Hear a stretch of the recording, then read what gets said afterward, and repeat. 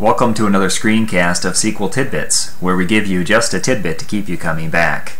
In today's screencast, we'll be talking about SQL Server Profiler and using that to improve your T-SQL skills.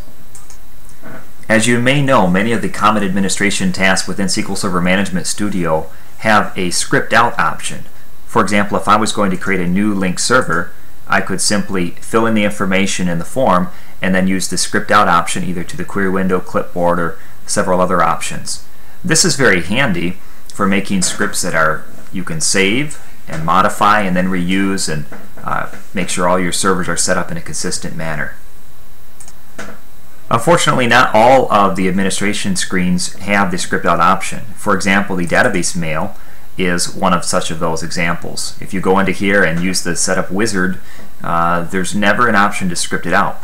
So what we're going to do is while we're running this through this wizard, we're going to go ahead and run SQL Server Profiler in the background to capture the commands that SQL is running behind the scenes, and then we'll be able to create our script that way.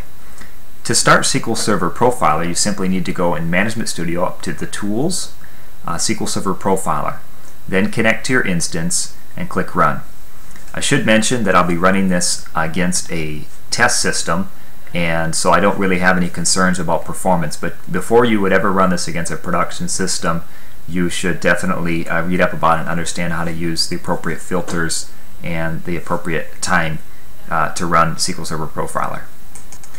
So now I've got SQL Server Profiler running and uh, it's just simply showing my existing connections and I'm going to switch back to the database mail setup wizard and go ahead and begin setting this up.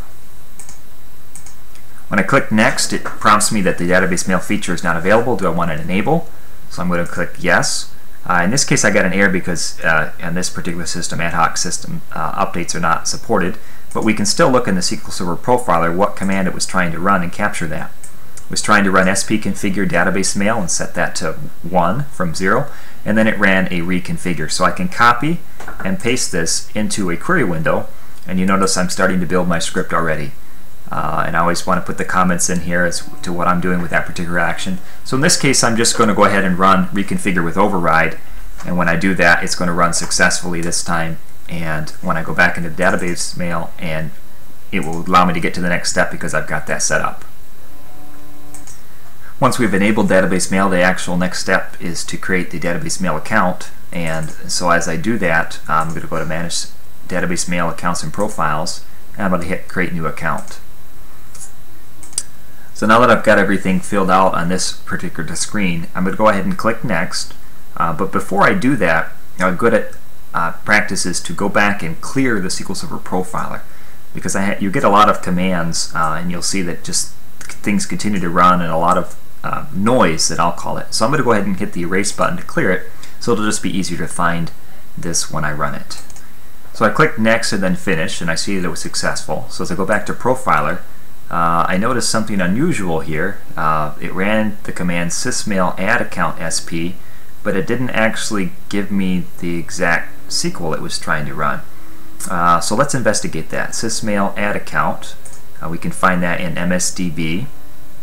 So if I scroll up here and I look under MSDB, store procedures, system store procedures, and I already have it filter filtered so we can see that.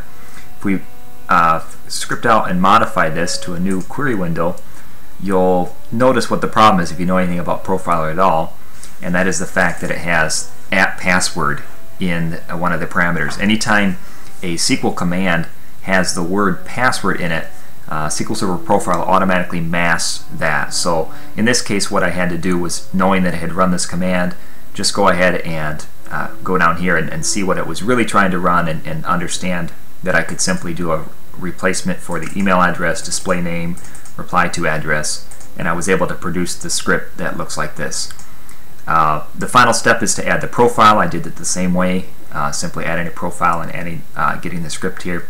If you'd like to see this entire script, I'm going to link up to another post that I have that shows you how to write the, uh, the script. The point today, though, was to show you how to use Profiler to make your T-SQL skills better, making uh, ferreting out those scripts that uh, are often hard to see in certain administration screens. Hope you've enjoyed this screencast. This is SQL Tidbits, where we give you just a tidbit to keep you coming back for more.